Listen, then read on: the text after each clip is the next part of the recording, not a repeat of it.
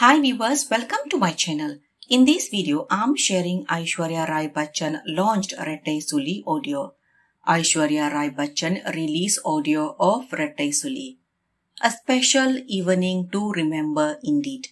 The world's most happening actress Aishwarya Rai Bachchan was present here in Chennai to launch the audio of Rettai Suzhi. This special juncture was held at Satyam Cinemas with reigning celebrities of Tamil film industry taking part in it.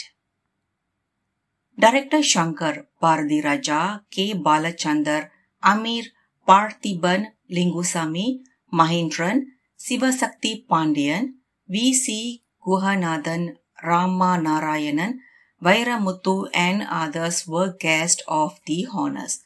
The musical album of Rettai Suzhi was launched by Aishwarya Rai Bachchan as Vairamuthu received the first copy. The film is directed by Tamira and produced by Shankar's S Pictures. Karthik Raja has scored the music for Rettai Suzhi.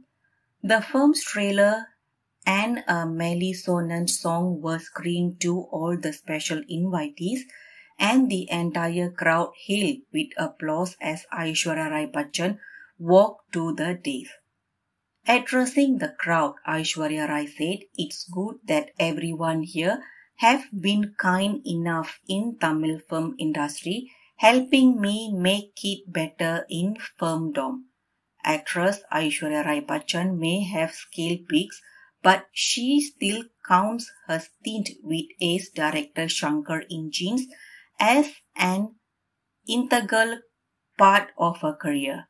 Working in Jeans starring Prashant remains an integral part.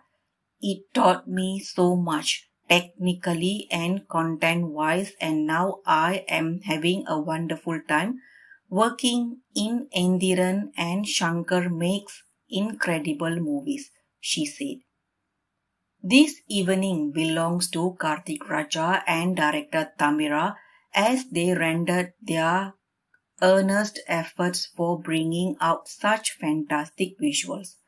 Balachandar and Barathi Raja, the icons of Tamil cinema, have been marvelous over the screens and I request Shankar to screen this film for me.